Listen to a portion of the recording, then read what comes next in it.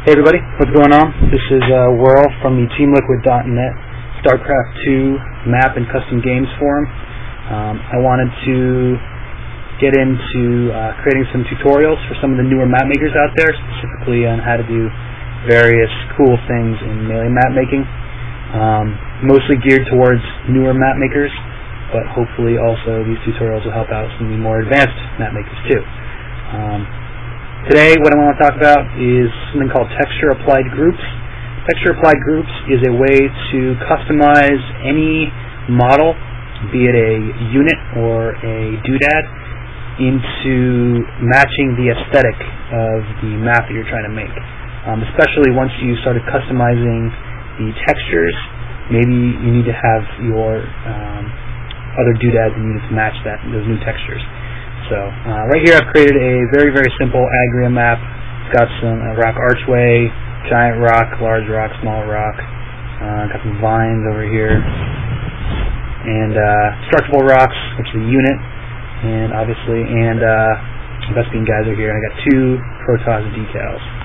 Um, these are all really basic doodads and units, which are really easy to find in the um, StarCraft 2 map editor. Um, so what I'm going to do is I'm going to adjust these rocks um, to something else. So what I can do is I can adjust them from maybe this now, which is this kind of grayish, greenish color. I'm going to change them over to the color of rocks from a different map. Um, there's a lot of varieties, especially with rocks. Um, however, even other things like vines and uh, geysers and decals, even they have different varieties as well. So what we're going to do is we're going to open up the data editor here, which is this little icon in between triggers and text. Um, you can also hit F7 on your keyboard. When you first open up your data editor, you'll notice that uh, you'll probably already have terrain texture sets open. This is where you would customize all your textures um, on your map if you wanted to add new ones, add new cliffs, adjust the fog, things like that. Um, that can be in a different tutorial, but it's not going to be in this one. Um, we want to adjust our models. Um, the model tab is where we're going to find all the texture applied groups for different doodads and units.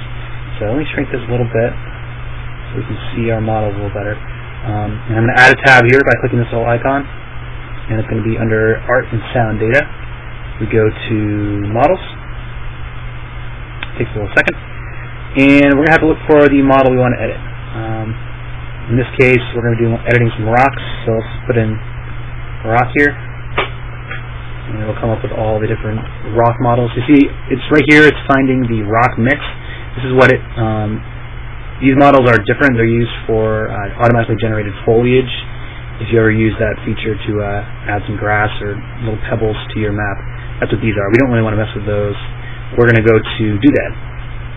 And in this case, we have a rock, a rock giant, a rock, rock large, and a rock arch over there. So let's just start off with this one right here, which is our rock giant. And if we click on it, it's going to load up over here on the right side of its pane takes a minute or two while I'm streaming. It's a lot slower. Wait for our scroll bar to pop up. Getting that back. Alright, and if we scroll down, we're going to look for, it's all alphabetical, we're looking for T, texture applied groups. And boom, there it is.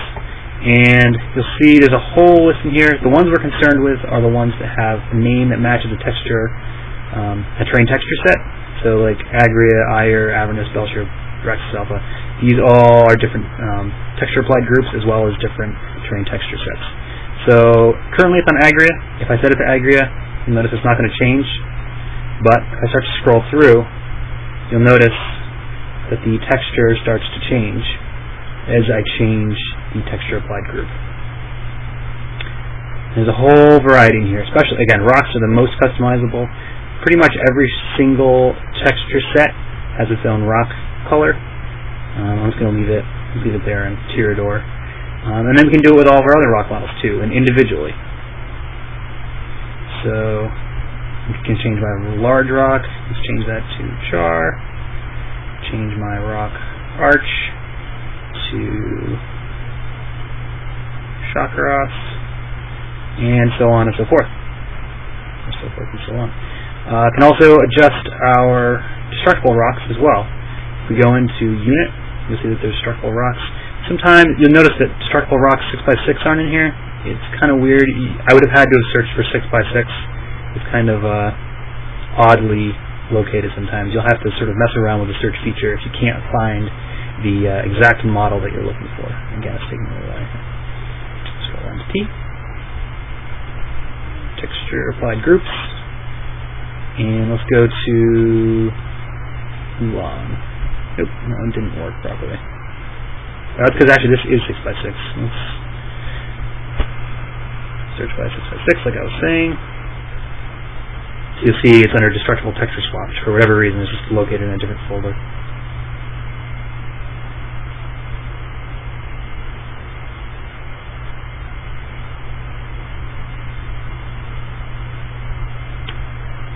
Again, texture applied groups. Scroll down, let's go to Korhal.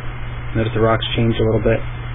You'll notice that between different texture sets, the leaves will change into like brambles. Some texture sets there's no leaves or brambles at all, like on space maps. So again, a lot of customization in here. You can do some pretty cool stuff. Blah blah blah blah blah. You'll see over there I have some vines on the right. Can also do this with vines.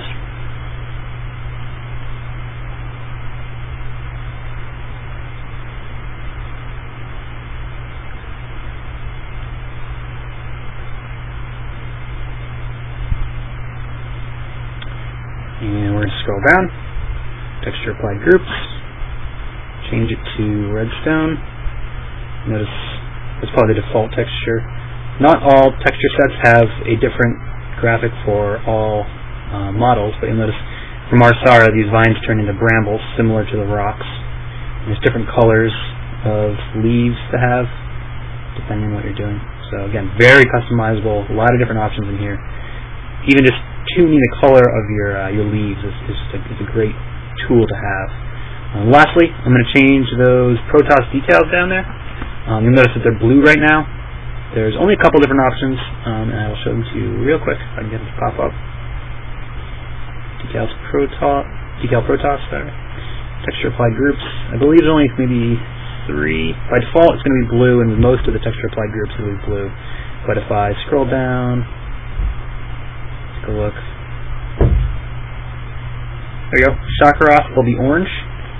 Um, matches the Shakuras texture set. Keep going. Ulnar. Ulnar is very cool because not only does it change the color, it also it instead changes the um, the actual variations themselves. So these are whole different shapes than the other uh, the original Protoss decals. So another way you can customize your map with these cool alien decals. Um, and lastly, I think Zhakul'das has a green color. Yep, there we go. So, again, a lot of different options. There's a lot of models you'll find in this list. Huge list, every model in the game practically. Um, there are a million and one different texture applied groups.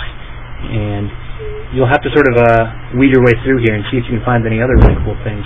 Um, if you find something neat, like maybe a decal that might people might not have known had different variations to it, um, post it in the comments. Let people know about it. Um, maybe post some pictures, show what you've done. And I think that's going to be all for now. Good luck, everybody. Uh, look forward to seeing what everyone does. Have a good one.